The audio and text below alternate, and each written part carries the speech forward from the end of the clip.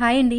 ఈరోజు వీడియోలో boat neck back వచ్చేసి potli buttons with cut work front వచ్చేసి నార్మల్ డీప్ ఎలా ఉంటుంది అలాగా అన్నమాట. అంటే cross cutting with shape belt. ఇది వచ్చేసి ఫ్రంట్ ఓపెన్ అండి. Most requested video. ఏ ఏజ్ వాళ్ళకైనా సరే ఇట్టే అద్దిపోయే బ్లౌజ్ కటింగ్ అండి ఇది. చాలా ఈజీగా ఉంటుంది. అదేవిధంగా ఫిట్టింగ్ కూడా సూపర్ అనమాట చూసారా ఎంత స్ట్రైట్గా వచ్చేస్తుందో ఎక్కడ లూజ్ రావటాలు అవేమీ ఉండవు. చాలా నీట్గా ఉంటుంది. లుక్ అనేది చాలా బాగుంటుంది. చాలా డీసెంట్గా చాలా ఫ్యాషన్గా ఉంటుంది. ఏజ్తో అసలు సంబంధం ఉండదు. ఎవరైనా సరే ఈజీగా వేసుకోవచ్చు. సో ఇప్పుడైతే కటింగ్ వీడియోలోకి అయితే వెళ్ళిపోదాం. ఫస్ట్ వచ్చేసి లైనింగ్ని తడిపేసుకుని ఆరబెట్టుకున్నానండి. ఫోల్డింగ్స్ అనేవి మన వైపుకు ఉన్నాయి ఓపెనింగ్స్ అనేవి ఆపోజిట్లో ఉన్నాయి. అయితే మీరు ఎప్పుడైనా సరే బ్లౌజ్ కట్ చేసేటప్పుడు ఖచ్చితంగా టేపు కరువు స్కేలు స్ట్రేట్ స్ట్రేట్గా ఉండే స్కేలు తర్వాత ఎల్ స్కేలు మార్కర్ కంపల్సరీగా ఉంటేనే మీకు ఫిట్టింగ్ అనేది బాగా వస్తుంది అనమాట ఒక్కొక్క గీతలో కూడా మనకి చేంజెస్ వచ్చే ఛాన్సెస్ ఉంటాయి. అయితే నేను సగానికి ఫోల్డ్ చేశాను కదా మళ్ళీ ఇంకొక ఫోల్డింగ్ అనేది చేశాను. ఎందుకంటే నాకు టూ హ్యాండ్స్ అనేవి ఒకేసారి కట్ చేయడానికి వీలుగా ఉండడానికి మన మెథడ్లో ఫస్ట్ హ్యాండ్స్ కట్ చేస్తామండి. దానికోసం అయితే నేను ఫోర్ ఫోల్డింగ్ చేసేసాను. ఇక్కడ నాకు బోర్డర్ వచ్చింది. చూసారు కదా? ఈ బోర్డరు తిప్పేసుకుంటే సరిపోతుంది కాబట్టి ఒక పావు ఇంచ్ వరకు ఎగస్ట్రా మార్జిన్ చేశాను. సో ఇప్పుడు నీట్గా ఇలా కట్ చేసేస్తాను. ఇక్కడ హెచ్చు తగులు వచ్చినాయి కదా అవి ఉంటే మళ్ళీ ఫినిషింగ్ అనేది నీట్గా రాదు అందుకని. సో ఇది అయిపోయిందండి తర్వాత వచ్చేసి మనం తీసుకున్న ఆది బ్లౌజు హైట్ ఎంత ఉందో చెక్ చేసుకోండి. Hand height. ఒక మార్కింగ్ వేసుకుని మనకి షోల్డర్ జాయింట్ కోసం మనకి మార్కింగ్ ఖర్చు కావాలి కదా దానికోసం ఒక ఇంచ్ ఎగస్ట్రా మార్జిన్ వేసుకోవాలి. తర్వాత వచ్చేసి హ్యాండ్ లూజ్ వచ్చేసి నాకు ఆరు మీద రెండు గీతలు వచ్చింది అదే మార్కింగ్ ఇక్కడైతే వేసేసుకున్నాను ఎగస్ట్రా ఖర్చు కోసం రెండు ఇంచులు సరిపోతుంది రెండు ఇంచులు ఎక్కువ ఉన్నా కూడా మనకి వేస్ట్ అయిపోవడం తప్ప ఫిట్టింగ్ రాదు.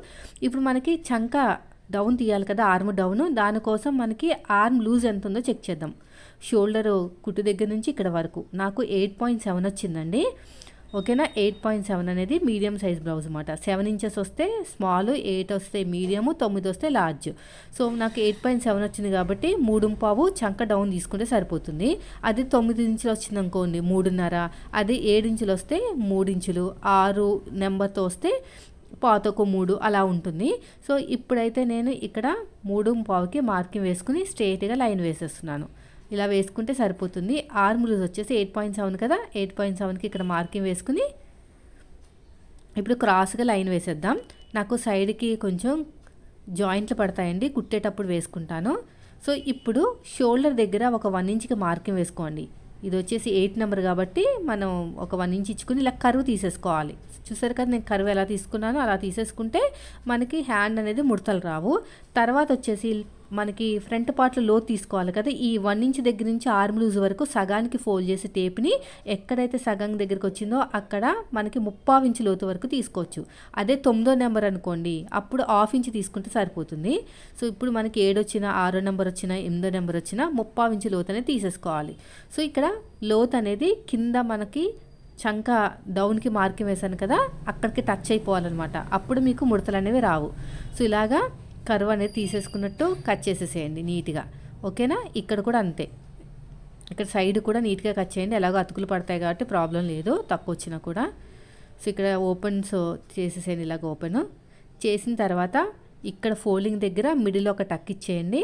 తర్వాత టూ లేయర్స్ని ఇలా సపరేట్గా తీసేసుకుని ఈ లోత్ తీసేసుకోవాలి ఇక్కడ. చూడండి నేను లోత్ అయితే ఎలా తీసేసుకుంటున్నానో అలా తీసేసుకోవాలి లోత్ అనేది ఇలాగా. ఓకేనా? ఇలా లో తీసుకుంటే సరిపోతుంది. అంతే చూసారా? షేప్ అనేది ఎలా వచ్చింది? ఐబ్రో షేప్ వచ్చింది కదా? కింద ఇలాగా మార్కింగ్ వేసేసేయండి. చూడండి అలా రావాలి ఐబ్రో షేప్ అనేది. ఓకేనా ఇలా వచ్చిందంటే మనకి ముడతలు రావన్నమాట. బాగా నీట్ ఫినిషింగ్ అనేది వచ్చేస్తుంది. సో ఇప్పుడు దీన్ని పక్కన పెట్టేద్దాం. తర్వాత వచ్చేసి మనకి బ్యాక్ పార్ట్ ఆ తర్వాత ఫ్రంట్ పార్ట్ చూడండి ఇక సైడ్కి నాకు అతుకులు పడతాయని చెప్పాను కదా? ఈ పీస్ ఉంది కదా?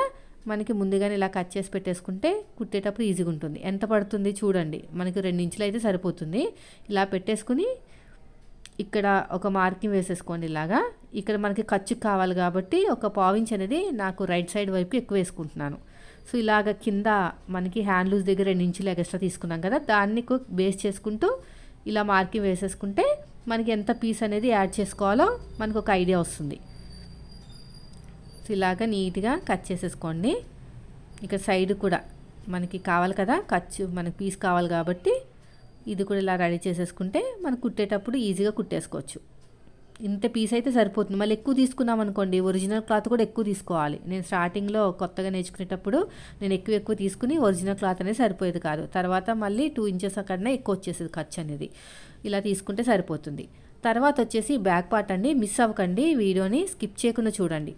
సో ఇది వచ్చేసి ఫ్రంట్ ఓపెన్ కాబట్టి నేను ఓపెనింగ్స్ అనేవి నా ఆపోజిట్లో వేసేసుకొని ఫోల్డింగ్స్ నా వైపు వేసుకున్నాను. చూడండి ఇప్పుడు ఇలాగా స్ట్రైట్గా ఒకసారి అయితే ఎడ్జెస్ అనేవి కరెక్ట్గా ఉన్నాయో లేదో చెక్ చేసుకోండి. వీళ్ళకు లైనింగ్ పీస్ అనేది నాకు రెండు పీసులు ఇచ్చారు వాళ్ళ దగ్గర ఉన్న పీసులు. ఇది వచ్చేసి ఒకటో పీసు. స్ట్రైట్గా లైన్ వేసుకుని ఒక్క హాఫ్ ఇంచ్ అనేది ఎక్స్ట్రా తీసుకోండి.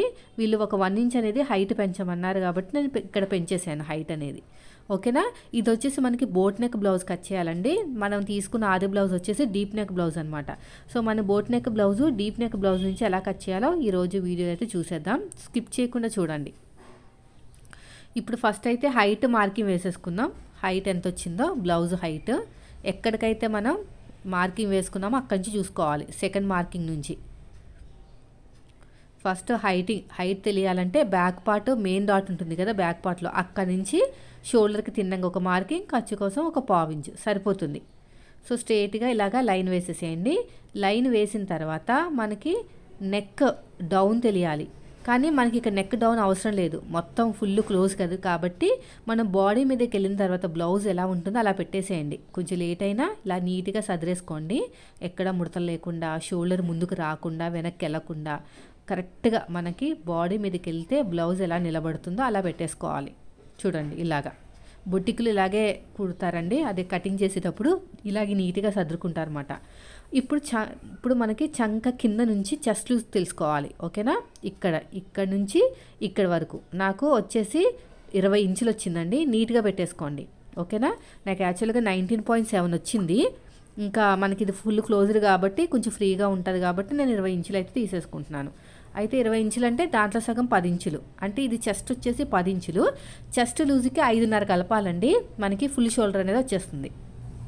ఓకేనా? ఇది ఫుల్ క్లోజ్డ్ కాబట్టి నేను నైన్టీన్ పాయింట్ సెవెన్ కాస్త ట్వంటీ కింద తీసేసుకున్నాను. అయితే పది ఇంచులు కదా జస్ట్. దీనికి ఒక ఐదు ఐదున్నర కలిపితే మనకి ఫుల్ షోల్డర్ వస్తుంది అనమాట పదిహేనున్నర అనేది ఈ బ్లౌజ్కి ఫుల్ షోల్డర్. సో దాంట్లో సగం ఎంత? పదిన్నర. అయితే మనకి ఇప్పుడైతే పది ఇంచులకి చెస్ట్కి మార్కింగ్ వేసుకుని ఎక్స్ట్రా ఖర్చు కోసం రెండు ఇంచులు మార్కింగ్ వేసుకున్నాను. ఒక బాక్స్ లాగా రెడీ చేసేసుకున్నాం అనుకోండి మనకి కొంచెం క్లారిటీగా కట్ చేసుకుంటానికి ఉంటుంది. ఇలా స్ట్రెయిట్గా. తర్వాత వచ్చేసి మనకి ఫుల్ షోల్డరు పదిహేనున్నర కదా? అంటే మనకి ఫస్ట్ అయితే నడుము లూజు మార్కింగ్ వేసేసుకుందాం ఫస్ట్. కాజా పట్టి వదిలేసి ఉక్సు పట్టి వరకు ఎంత వచ్చిందో చెక్ చేయండి. నాకు ముప్పై రెండు వచ్చింది ఓకేనా? ఎనిమిది ఇంచులు మాట. దీనికి డాట్ కోసం వన్ ఇంచు కప్పితే తొమ్మిది ఇంచులు. తొమ్మిదికి సగానికి మార్కింగ్ వేయండి. అటు ఒక హాఫ్ ఇంచు ఇటు ఒక హాఫ్ ఇంచు. హైట్ వచ్చేసి నాలుగున్నర. అంతే సరిపోతుంది. అంతేనండి. ఎప్పుడైనా సరే మీరు షోల్డర్ తెలుసుకోవాలంటే ఫస్ట్ ప్రయారిటీ బాడీ మీద నుంచి తెలుసుకుంటే ఇంకా బాగా ఫిట్టింగ్ వస్తుంది. లేదాక మా దగ్గర బాడీ మెజర్మెంట్ లేదు మాకు రాదు అనుకుంటే మాత్రం నేను చెప్పిన ఈ ఫార్ములా వాడండి. పదిహేనున్నర వచ్చింది కదా దీంట్లో సగానికి ఫోల్డ్ చేస్తే మనకి సెవెన్ పాయింట్ సెవెన్ అనేది ఫుల్ షోల్డర్ అనమాట అంటే మన ఫోల్డింగ్లో ఉంది కదా క్లాత్ అనేది అందుకుని మనం కూడా ఫోల్డింగ్లోకి తీసుకోవాలి షోల్డర్ అనేది. సెవెన్ పాయింట్ సెవెన్కి మార్కింగ్ వేసుకుని చంకడౌన్ అనేది ఏడున్నర తీసుకుంటున్నాను. ఇంకా అవసరమైతే దించవచ్చు కిందకి. ఏడున్నర అయితే సరిపోతుందండి. ఇక్కడ కూడా సెవెన్ పాయింట్ సెవెన్ మార్కింగ్ వేసేసుకుని ఒక ఎల్ షేప్ అయితే ఇచ్చేద్దాం. ఇలాగ ఎల్ షేప్ ఇచ్చేద్దాం. స్ట్రైట్గా ఇక్కడ కూడా అంతే స్ట్రైట్గా ఇక్కడ మనకి కరువు స్కేల్ ఉంటుంది కదా ఈ ఎల్ షేప్ మ్యాచ్ అయ్యే చోట కరువు తీసేసుకుంటే సరిపోతుందండి. ముడతలు రావు అసలు. ఎక్కడ ముడతలు రావు. ఇలా తీసుకుంటే సరిపోతుంది. చూడండి. ఇప్పుడు మనకి షోల్డర్ కావాల్సిన ఖర్చు అనేది వదిలేయండి. ఓకేనా? అయితే నేను చాలామంది ఏం చేస్తారంటే కటింగ్లకి ఇలా స్లోప్ ఇస్తారన్నమాట లైట్గా అయితే నేను స్టిచ్ చేసేటప్పుడు ఇచ్చేస్తాను. సరిపోతుంది. నన్ను నా లేకపోతే నాకు ఇక్కడ కన్ఫ్యూజ్ అవుతుందండి అందుకుని. సో నాకు ఎనిమిది మీద ఒక ఎయిట్ పాయింట్ సిక్స్ వచ్చిందండి. మనకి ఎయిట్ పాయింట్ సెవెన్ రావాలి కదా? ఎయిట్ పాయింట్ సిక్స్ వచ్చింది. ఆ ఒక గీత పర్లేదు. నేను ఎలాగో స్లోప్ ఇస్తాను కదా? కటింగ్ అయిపోయిన తర్వాత స్టిచ్చింగ్లో కాబట్టి సరిపోతుంది. అయినా ఇక్కడ సరిపోయిందిలేండి. ఎయిట్ పాయింట్ సెవెన్ అలా దగ్గర దగ్గర వచ్చేసింది.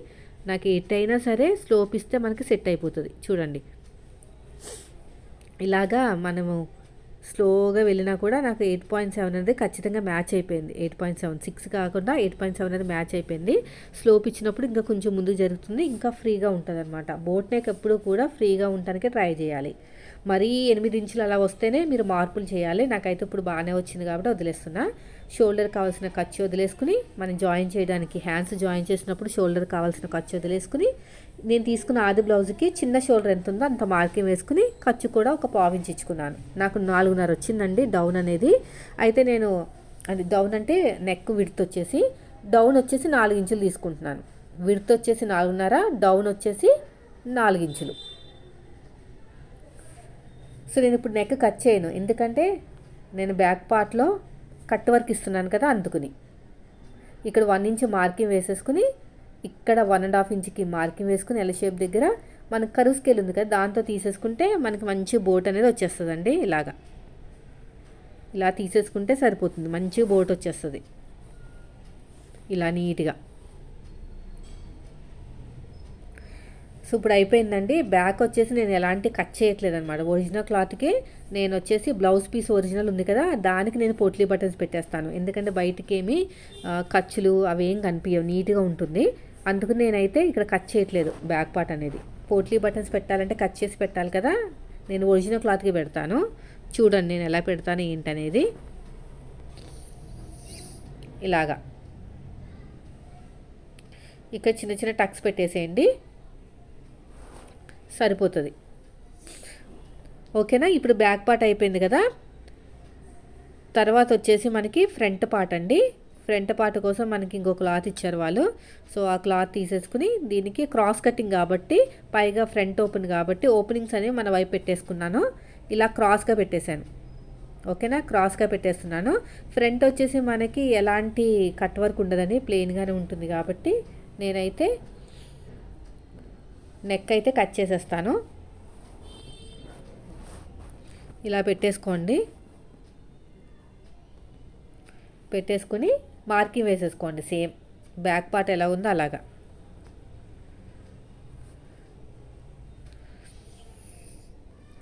ఓకేనా? ఇలాగ. ఇక్కడ ఒక హాఫ్ ఇంచ్ అనేది ఎగస్ట్రా తీసుకొని సరిపోతుంది. ఎగస్ట్రా తీసేసుకుంటే సరిపోతుంది. ఇక్కడ కూడా అంతే.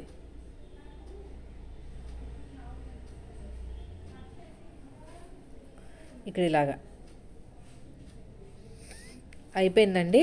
తర్వాత వచ్చేసి మనకి ఇక్కడ ఇలాగ షేప్ అనేది వీలర్ తోటి ఇచ్చుకున్నారనుకో ఎల్ షేప్ అనేది. మనకి ఈజీగా ఉంటుంది. విడ్త్ అనేది ఎంత ఉంది ఏంటి అనేది.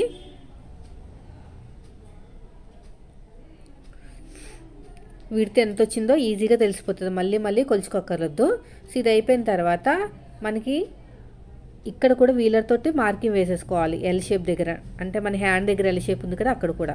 ఇప్పుడు ఫ్రంట్ పార్ట్ హైట్ ఎంత ఉందో నార్మల్గా మన బ్లౌజ్కి ఎలా కొలుచుకుంటామో సేమ్ అదే విధంగా కొలుచుకోండి. పైన షోల్డర్ కుట్టు దగ్గర నుంచి కింద మనకి డాట్ వరకు ఎంత వచ్చింది ఖర్చుతో కలిపి. నాకు పదమూడు మీద రెండు గీతలు వచ్చిందండి అదే మార్కింగ్ వేసేసుకుందాం. సో ఇప్పుడైతే నేను తీసేసాను బ్యాక్ పార్ట్ అనేది. సో ఇక్కడ నేను వీలర్ మార్కింగ్ వేశాను కదా ఈ షేప్ అయితే ఇచ్చేస్తాను ఫస్ట్ అయితే. ఇక్కడ కూడా అంతే అదే షేప్ ఇచ్చేస్తాను. తర్వాత వచ్చేసి ఇక్కడ షోల్డర్ కావాల్సిన ఖర్చు వదిలేసుకుని పదమూడు మీద రెండు గీతలు కదా మార్కింగ్ వేసేసుకోవాలి. అంతే. ఇప్పుడు ఎల్ స్కేల్ సహాయంతో ఇక్కడ మనకి లైన్ వచ్చింది కదా లైన్ దగ్గర కరెక్ట్గా పెట్టుకుంటే ఈ లైన్ కరెక్ట్గా వచ్చేస్తుంది. లేకపోతే మళ్ళీ ఎక్కువ తక్కువ వచ్చింది అనుకోండి షేప్ అనేది నిలబడుతుంది అనమాట ఎక్కువ తక్కువ అవుతుంది. ఇక్కడ ముడతలు రాకుండా ఉండాలంటే ముప్పావు ఇంచ్ అనేది మన వైపుకి మార్కింగ్ వేయండి. ఓకేనా? ముప్పావు ఇంచ్ అనేది మన వైపుకి మార్కింగ్ వేసుకున్నారనుకోండి సరిపోతుంది. ఇలాగ క్రాస్గా లైన్ తీసేసేయండి. ఇలా తీసుకుంటే మనకి ముడతలు అనేవి ఫ్రంట్ పార్ట్లో రాకుండా ఉంటాయి. అయితే ఇప్పుడు రౌండ్ అనేది మామూలుగా హాఫ్ ఇంచ్ తీసుకుంటాం కదా కానీ మనకి బోట్ నెక్ బ్లౌజ్కి మాత్రం వన్ ఇంచ్ తీసుకోవాలండి. లేకపోతే చంక దగ్గర ఖచ్చితంగా ముడతలు వస్తాయి. ఇప్పుడు ఫ్రంట్ పార్ట్ నెక్ డీప్ వచ్చేసి ఇది బోట్ నెక్ కాదు. అలా అని చెప్పేసి డీప్ నెక్ కూడా కాదు కదా. బాగా డీప్ ఉంటే కూడా భుజాలు జారిపోతే సెట్ అవ్వదు. అందుకు నేను ఏం చేస్తున్నానంటే ఐదున్నర మాత్రం ఇస్తున్నాను. మామూలుగా అయితే వీళ్ళకి ఆరున్నర ఏడు ఉంటుంది. ఐదున్నర ఇస్తే సరిపోతుంది. ఇప్పుడు మన బ్యాక్ పార్ట్లో ఎలాగైతే మార్కింగ్ వేసుకున్నామో ఇక్కడ వన్ ఇంచ్కి ఇక్కడ ఒక వన్ అండ్ హాఫ్ ఇంచ్కి అలా వేసేసుకుని కరువు తీసేసుకోవాలి. అంతే. ఇక్కడ నుంచి మనకి హుక్స్ పట్టి కే పట్టి అనేది హైట్ ఎక్కువే వస్తుంది. ఫ్రంట్ పార్ట్ నెక్కనే తగ్గింది కదా అందుకుని. రెండు ఇంచులకి హైట్కి మార్కింగ్ వేసుకుని మనకి ఇక్కడ ఓపెనింగ్ దగ్గర నుంచి డాట్ వరకు రెండున్నరకి మార్కింగ్ వేసుకోండి. డాట్కి డాట్కి మధ్యన గ్యాప్ వన్ ఇంచ్ తీసుకోండి. సరిపోతుంది అంతే. ఇప్పుడు డాట్ హైట్ వచ్చేసి మన ఆది బ్లౌజ్ని తీసుకోండి. మూడు వచ్చింది సరిపోతుంది. ఇలా మార్కింగ్ వేసేయండి ఇలా రౌండ్ తీసేసేయండి అంతే. ఇక్కడ ఒక హాఫ్ ఇంచ్ వదిలేసి ఈ రెండింటి మిడిల్లో మనకి రెండున్నర వరకు ఒక పొడుగు ఈ రెండింటిని బేస్ చేసుకుంటూ మూడోది అంతే. చూసారా ఎంత బాగుందో? ఇప్పుడు ఇలాగ నీట్గా రౌండ్గా కట్ చేసేసుకోవాలి.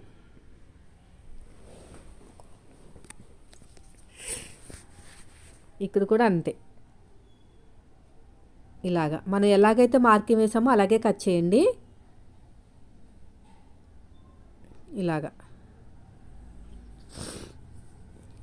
కట్ చేసేసుకుంటే సరిపోతుంది. చాలా ఈజీ అండి. చాలా సింపుల్గా ఉంటుంది. నేను స్టిచ్చింగ్ కూడా నెక్స్ట్ వీడియోలో పెడతాను. మనకి మనీ ఎక్కువ సంపాదించుకోవచ్చు. అదేవిధంగా అన్ని మోడల్స్ మనకి వచ్చని కాన్ఫిడెంట్ వచ్చిందంటే మీకు వీలైతే షాప్ కూడా మెయింటైన్ చేయొచ్చండి. మనము ఇంట్లోనే ఉంటూ ఇలాగ అన్నీ కూడా నేర్చుకుని బాగా పర్ఫెక్ట్ అయ్యి ఇంట్లో పరిస్థితులు అన్నీ బాగుంటే మీరు షాప్ కూడా మెయింటైన్ చేయొచ్చు. ఇవంతా చాలా ఈజీగా ఉంటుంది. మెథడ్ అనేది ఎవరైనా ఈజీగా కటింగ్ చేసేయచ్చు. సో ఇక్కడ కూడా అంతే. కింద కూడా ఇలా మార్కింగ్ వేసేయండి. అయిపోయిందండి. మనకి తర్వాత వచ్చేసి షేప్ బెల్ట్ షేప్ బెల్ట్ కోసం మనం ఫస్ట్ అయితే ఏం చేస్తామంటే బ్యాక్ పార్ట్ మీద ఫ్రంట్ పార్ట్ పెట్టేసి సో మిడిల్లో మనకి ఎంత వచ్చింది హైట్ గ్యాప్ అనేది చెక్ చేసుకోవాలి. ఖచ్చితంగా పావుతకు మూడు ఉండాలి ఈ సైజు వాళ్ళకి. సో నాకైతే తక్కువే వచ్చింది. అందుకని కొంచెం లైట్గా క్రాస్ ఇస్తున్నాను. ఎందుకంటే నేను ముందు ఇవ్వలేదు కదా. జనరల్గా ఇదివరకు నేను ఏం చేసేదానంటే సైడ్కి కూడా ఆది బ్లౌజ్ నుంచి కొలిచేదాన్ని. దానివల్ల ఏంటంటే మనకి కరెక్ట్గా రావట్లేదు అనమాట షేప్ బెల్ట్ అనేది ఎక్కువ తక్కువ వస్తుందని చెప్పేసి మన వాళ్ళ కోసం ఇలాగ ఒక ఈజీ టిప్ టిప్ అనేది ఫాలో అవ్వమని చెప్పాను. ఇప్పుడు కూర కూర ఉన్న క్లాత్ని కట్ చేసేసేయండి. ఒకటిన్నర ఇంచు వరకు. ఎందుకంటే మనకి బ్యాక్ పార్ట్లో పట్టి అత్తుకుంటానికి ఈజీగా ఉంటుంది. ఇప్పుడు షేప్ బెల్ట్ దీనికోసం స్ట్రేట్గా ఇలాగ కట్ చేసేసి ఇలా స్ట్రేట్గా కట్ చేసేయండి. తర్వాత వచ్చేసి మనకి పొడుగు వచ్చేసి ఒక పదకొండున్నర ఇంచులు తీసుకుంటే సరిపోతుంది. మనకి పదకొండున్నర ఇంచులు అంటే సరిపోతుంది. ఇలాగా పదకొండున్నర పన్నెండు ఉంటే పన్నెండు తీసుకోండి లేదా పదకొండున్నర ఇంచులు. సో ఇక్కడ మనకి ఎంత వచ్చింది? పాతొక్క మూడు. మార్కింగ్ వేసాను ఇక్కడ పాతొక్క మూడుకి. ఉక్స్ పట్టి కాజా పట్టి దగ్గర ఉన్నది డాట్ ఎంత ఉందో మీరు ఆది బ్లౌజ్ నుంచి ఒకసారి చూసుకోండి. హాఫ్ ఇంచ్ అనేది పైకి వదిలేండి కుట్టు పైకి వదిలేసి చూసుకోవాలి. మూడున్నర వచ్చింది. తర్వాత డాట్ దగ్గర వచ్చిందేమో సేమ్ డాట్ దగ్గర కూడా ఒక హాఫ్ ఇంచ్ అనేది కుట్టు పైకి వదిలేసి చెక్ చేయండి. పాతకో మూడు. అంతే ఫ్రెండ్స్ చూసారా? ఇలా కరువు తీసేసుకుంటే సరిపోతుంది. ఇది సింగిల్ లేయర్ వచ్చిందండి. మళ్ళీ మనకి ఫ్రంట్ పార్ట్కి డబుల్ లేయర్ ఉండాలి. ఇలాగా. డబల్ లేయర్ ఉంటే ఖచ్చితంగా షేప్ అనేది బాగా నిలబడుతుంది. ఎంత దళసరిగా ఉన్న క్లాత్ వేసుకుంటే అంత మంచిది. నా దగ్గర క్లాత్ బాగానే ఉంది కాబట్టి సేమ్ క్లాత్నే తీసేసుకుంటున్నాను. ఇక్కడ కూడా కూర కనిపించింది. దీన్ని కూడా కట్ చేసేసి పక్కన పెట్టేస్తాను. అంతకంటే ముందు నేను ఇక్కడ కూడా ఇంకొక లేయర్ తీసేస్తాను. తీసేసుకుంటే మనకి కుట్టేటప్పుడు అటు ఇటు చూసుకోకుండా ఫాస్ట్గా కుట్టేయచ్చు. మ్యాక్సిమం కట్ చేసిన తర్వాత కనీసం నెక్స్ట్ డే అయినా కుట్టడానికి ట్రై చేయండి. ఎక్కువ రోజులు ఉన్నాయంటే పీసెస్ అనేవి అటు ఇటు వెళ్ళిపోతాయి. మళ్ళీ మనకి కొంచెం మర్చిపోతూ ఉంటామన్నమాట ఎంత ఇచ్చాము ఏంటనేది కుట్టిన కట్ చేసినట్టు కుట్టామనుకోండి మనకి మంచి ఐడియా కూడా వస్తుంది. వీలైనంత వరకు ట్రై చేయాలి. నేనైతే కుట్టిన కట్ చేసినట్టు కుట్టేస్తాను. ఇప్పుడు ఒరిజినల్ క్లాత్ మీద పెట్టేసుకుందామండి.